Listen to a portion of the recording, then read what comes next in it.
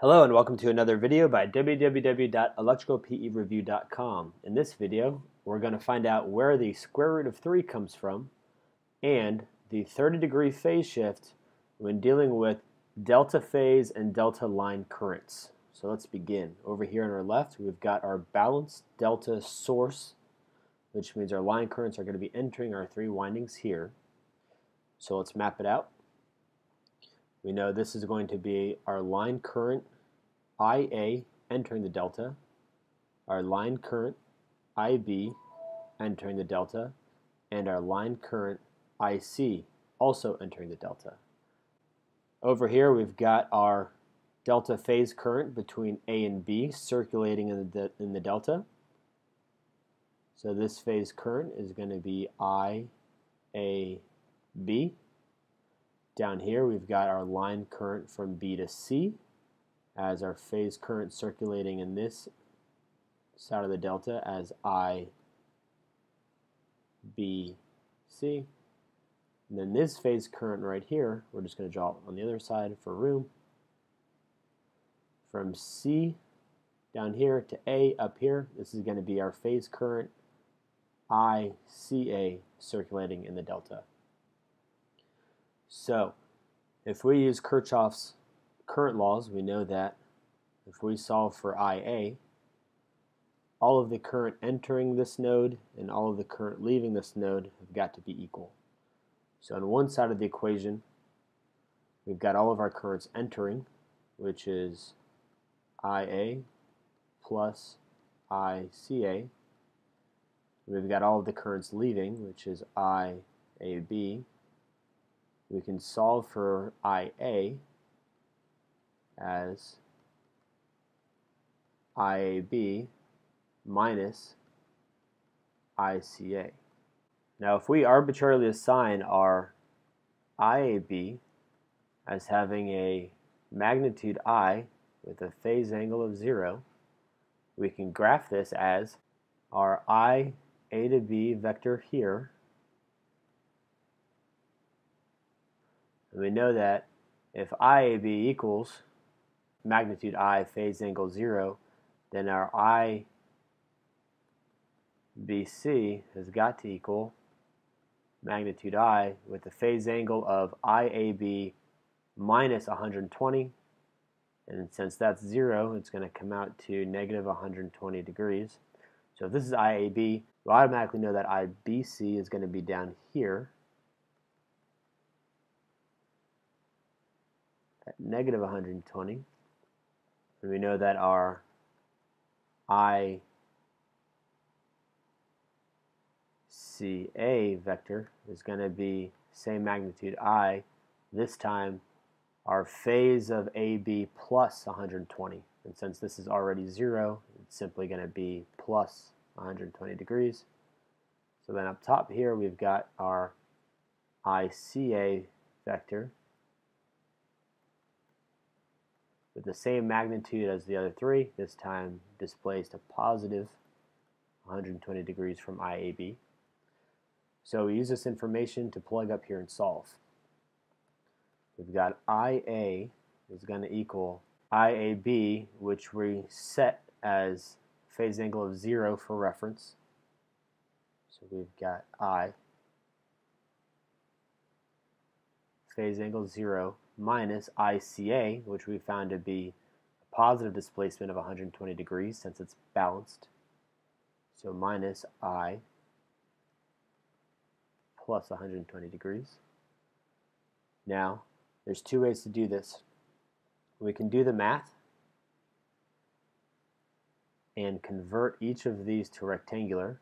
We can then subtract them and then convert back to polar or we can do it the easy way and set our current magnitude equal to 1. So we rewrite our equation as IA equals 1 phase angle 0 minus 1 phase angle 120 degrees. Now it's a lot easier to do our complex math if we're using 1 instead of a variable i.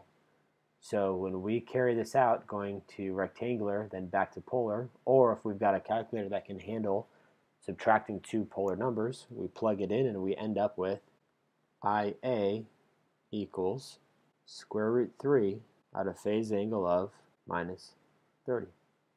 Now if you remember we said that I equals 1. So really we can rewrite the top as IA equals square root 3 times 1, which doesn't change it, at a phase angle of negative 30. And then once more, we can rewrite this as IA really equals square root 3 times the magnitude of our IAB, IBC, and ICA currents displaced negative 30 degrees. Now, let's find the rest of our line currents phase angles. If we found IA to equal square root 3 I minus 30 degrees, and this is a balanced positive ABC sequence, then that means IB will have the same magnitude as IA, but this time it's going to be at a phase angle of IA minus 120 degrees. So negative 30 minus 120 degrees gives us negative 150. And IC is going to also have the same magnitude at a phase angle of IA phase angle plus 120 degrees. So negative 30 plus 120 degrees gives us 90. So let's graph this up top to compare. Here's our original IAB vector.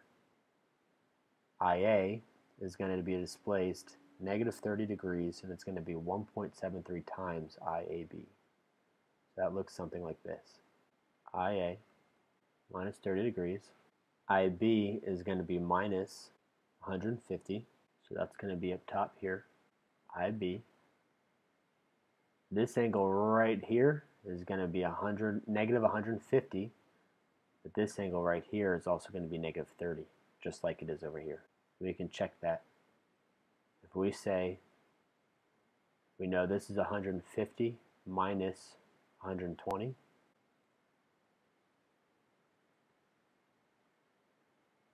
should be negative 30 degrees. So this guy right here is 30. And the last IC is going to be 90 degrees. So he's going to be up here somewhere. IC equals square root 3 I phase angle of 90 degrees. So if you'll notice, each line current lags its phase current by 30 degrees. IA lags IAB by 30 and is 1.73 times the magnitude. IB lags IBC by negative 30 and is 1.73 times the magnitude of IBC. And IC up here at 90 degrees lags ICA by 30 degrees and is 1.73 times the magnitude of ICA.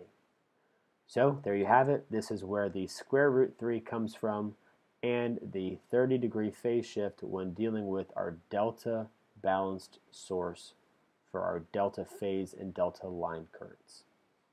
So give it a go. For some practice, I recommend instead of how up here we solved for IA, go ahead and solve for IB and IC separately using the different phase currents and use our trick down here of setting the magnitude of our phase current as 1 and then solving by converting each of the polar vectors to rectangular, subtracting their real and imaginary components, and then converting that back to polar, or like we did down here, if you have a calculator that's capable of subtracting two polar vectors, you can take a shortcut, uh, but I recommend solving the rest of those and verifying that for a balanced three-phase ABC sequence, you end up with the same phase diagram up here. Okay, that's it for this video. For more examples and to visit our premium review course, come see us at www.electricalpereview.com.